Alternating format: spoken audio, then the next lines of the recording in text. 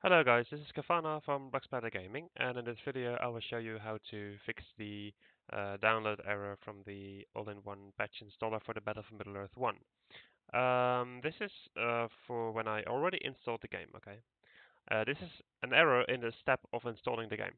So I did all the steps, I installed uh, the game itself and I installed uh, patch 103 and now I'm trying to install patch 106. Uh, but when I do, look here, there is an error. There's the download failed. Uh, check your connection, click retry, blah, blah, blah. Um, it doesn't have to do anything with connection, okay? If you have this error, you simply um, had the installation in, or you had the patch installation in the wrong folder, okay? I will show you. This is what I did. I will now cancel the setup and I will show you again. Okay, I already did this one. I go to 106 and I will install it in English. And I click next, blah, blah, blah, blah, blah. There you go. Okay, this is the uh, location that it should be, all right? Um, you always have to compare this location to the location that you installed the game in. So I will go to files is, what is it? 86 and then I will go to EA Games, the Battle of Middle Earth 1. Okay. So just to check, this should be the same as uh, this one, is it? Uh, let's see, blah blah blah. Yes, it is. And this one as well. That's very good. Um, this uh, error only occurs, most likely, between Dutch and English versions of the installation. Uh, why? Because the uh, Dutch installation is the only uh, non-English language that is using the English title.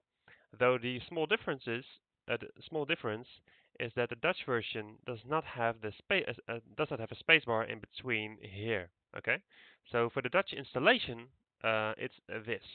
So if I would have installed the game itself in Dutch, uh, then here there would not be a spacebar. And this is very important because this is what I did to simulate the error. Okay, I, I deleted the spacebar and then I uh, started installing the patch. Um, so now I will just put the spacebar back in, just like it was uh, recommended. But sometimes it doesn't auto-select this properly, especially when you uh, reinstall uh, the game twice at, the, uh, at a row because you did something wrong or something. so now I will click next uh, click next with the launcher. Yeah, yeah, yeah, sure. Um, this time it will work, okay? Uh, I will save you time and not waiting for this download to finish because it will take some minutes, I guess, unless it's going really quick. But that's it. That's the fix. It's only the spacebar. That's that's really the thing, uh, because then it's different from what you get. Okay, here you see it's already finished, and it's it, this is it. Okay, I didn't even have this uh, back then uh, which means this is a solution, okay? If you have another solution, if you still have a question, if it's still not working, although you are sure, absolutely sure that the file location of the game is exactly as the installation um, path as your patch, um, then leave a comment and we'll see, okay?